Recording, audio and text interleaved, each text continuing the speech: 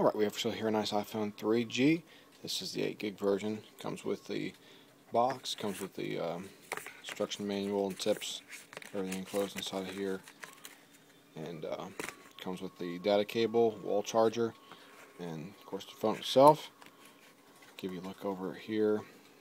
The housing seen pretty much normal wear on it. Nothing too much. The uh, screen's perfect. No uh, scratches or anything on that. All the power buttons work fine. The home button. And uh, go on here to show you the volume button and the mute button. There's the volume up, the volume down. Here's the mute. All works good. And uh, everything on the phone's ready to go. We'll reset it before sending it out. So it'll be ready to plug in to iTunes and ready to go for you.